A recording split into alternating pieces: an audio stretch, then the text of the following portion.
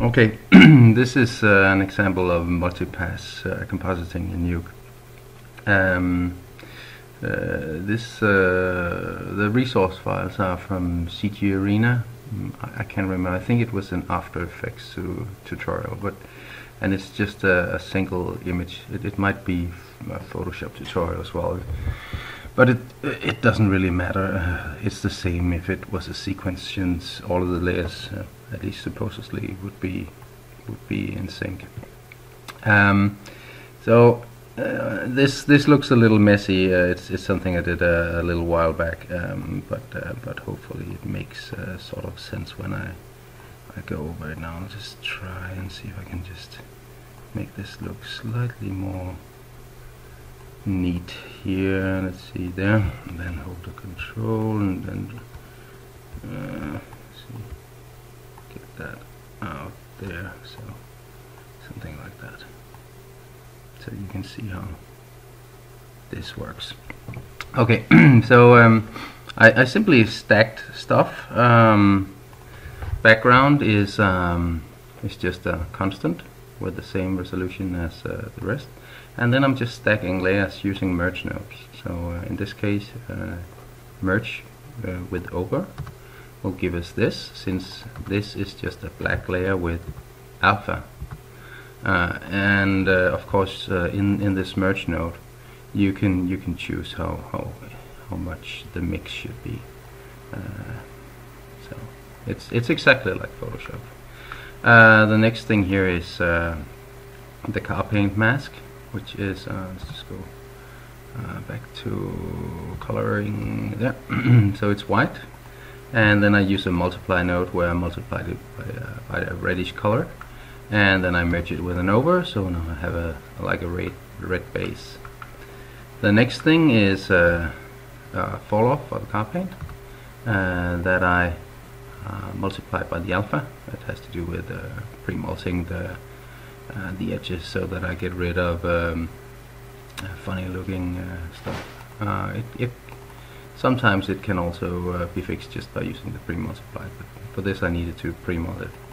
And again, I multiplied this by a red one, so I, essentially I don't need this. Uh, I just, you know, I just start from one end and work my way down there since um, this one is actually put on top using screen.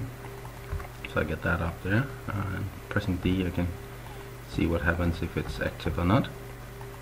And I can blend it in as much or as little as I want. The next thing is ambient occlusion. Again, it's pre-multed uh, when that's on top there.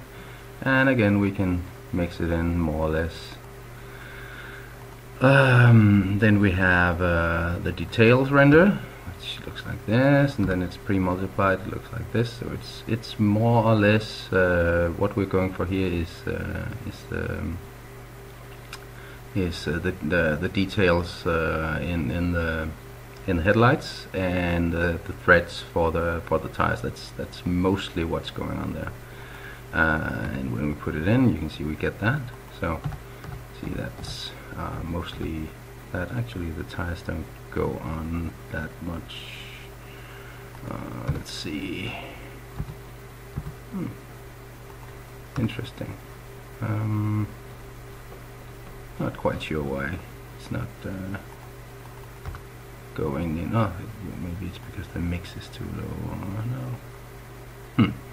Um, not sure. Oh yeah, I'm masking this out using this thing here. So that's that's the reason. So if I if I turn the mask off, you can see I'll, I'll get it in there. Um, you can use this or, or not. That's that's up to you. No, I just remove it so that I get the details from the from the tires.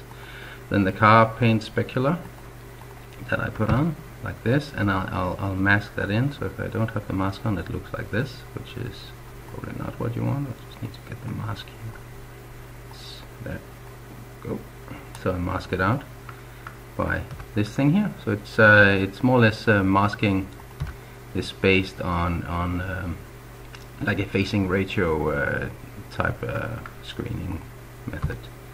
So it looks like this. Um, next thing is like uh, the, the highlights for mirrors and uh, chrome bits, etc. So that goes on here, and then we have the car paint mirroring, so something like that. Uh, I think the masking here that I uh, might need to like turn this down a little bit, like so. So I, I hope hopefully this makes sense. Um, the idea is that uh, every every layer you just use a merge node and you can use over or multiply or you know the the normal um, layering method that you like. And then on each of these nodes you have the additional mask plugin that you can mask you can plug to something. So for instance this. And then you can use if it should be the alpha or the red or whatever you like to uh, be masking that particular operation. Well, that will be masking the the A input, the, the overlay, how much that will be applied to the one underneath. So, yeah, that's basically it. So, good luck with it.